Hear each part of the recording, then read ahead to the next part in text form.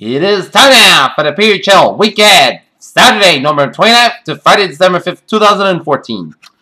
Good evening, everybody. I'm Peter Wiggins. There, uh, Week Ahead for the schedule of Saturday, November 29th to Friday, December 5th, 2014. Here's my schedule for this week. Saturday, I'm going to go to Shabbat. Sunday, I'm going to go to church and watch football. Monday, I'm going to, Lori Selby's going to come to my house to go over what clothes do I need for Christmas? And check my closet to see if my clothes are good and if it's good we'll keep them if it's holey and worn we'll throw them out. So it's time for a change.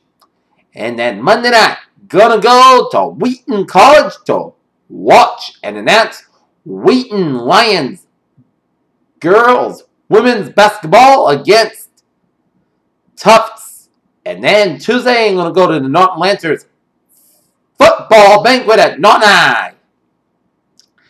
Wednesday, I'm going to go have lunch at McDonald's and have froyo at Berry Frozen Yogurt and then grocery shopping at the Roche Brothers and Nan. Gonna go to the Norton, go, go to Wheaton College for the Wheaton Lions. Clark women's basketball game at Haas Gymnasium at Wheaton College in Norton. First is me my voiceover work, and then I'm gonna go watch some Wheaton College men's basketball at Haas Gym against Fitchburg State, and then Friday I'm gonna go Boston. As my saying goes, one good week leads to another, and more YouTube videos to come.